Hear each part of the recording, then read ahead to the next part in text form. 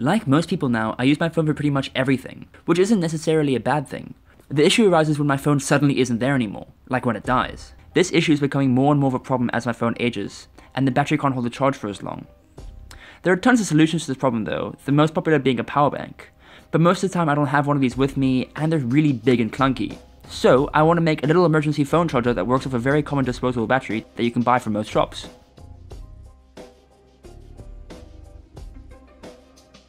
To do this, we're going to need this awesome little circuit called the buck converter. This circuit takes a large voltage on its input and lets you slim it down to a smaller voltage of your choice on the output. Now, you may be thinking, but this is what a resistor does. And you would be right. But the buck converter does it in a very different way. You see, resistors lower voltage by converting the unwanted power into heat. This is why resistors get hot. But this creation of heat just wastes the energy. Now, the buck converter uses an inductor, which barely heats up, making it much more efficient. And it's super small, which is great. So to make this emergency charger, we're going to need the buck converter, a dead 9 volt battery, a fully charged 9 volt battery, an old micro USB cable, a 9 volt battery clip, and some protoplastic, which is this really cool plastic that's moldable when it's hot, but solid when cold. We're going to use it to make our case. We need to start by adjusting the buck converter to output 5 volts for our phone. We do this by connecting 9 volts to the input terminals of the buck converter. Positive goes to positive and negative goes to negative. I'm supplying 9 volts through my power supply, but you can just use a 9 volt battery if you don't have one. Now we're going to connect a multimeter to the output of the buck converter. Again, negative to negative and positive to positive. And lastly, we're going to turn the little potentiometer until we get a reading of 5 volts on the multimeter. Once we've got that, we can disconnect everything.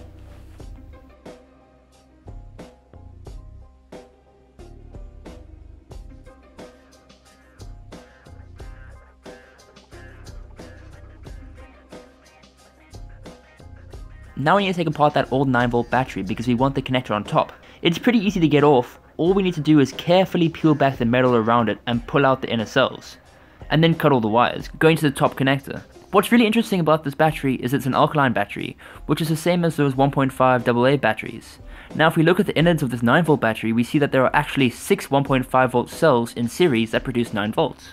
Anyway, now we need to connect the buck converter to the other 9 volt battery clip. We do this by soldering the red wire to the positive inputs and the black wire to the negative inputs. The input pins are labeled in plus and in negative. We then glue the buck converter to the bottom of the 9 volt battery connector we got from that old 9 volt. Now we need to crack open our micro USB cable and get the connector out. You should see a black and red wire. You might also see a green and white wire. If you do, cut them completely off.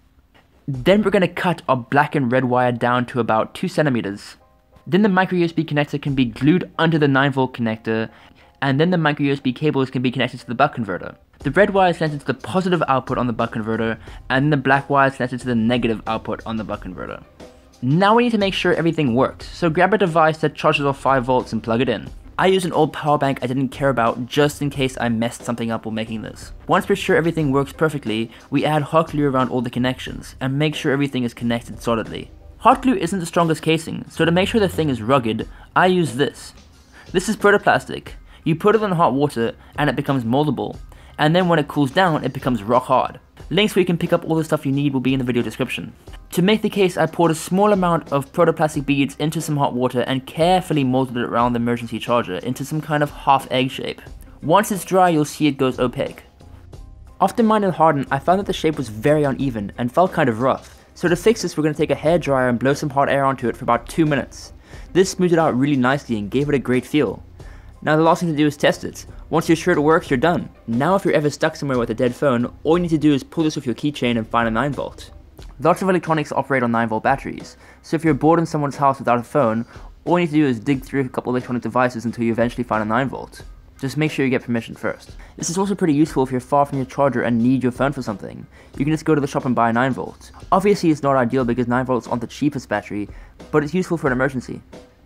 It's also useful to leave a 9 volt in your car or backpack because they're really small and light, and they might come in handy one day. Full written instructions with links to where you can get these parts can be found in the video description. Thanks so much for watching, if you enjoyed it check out my other videos or subscribe.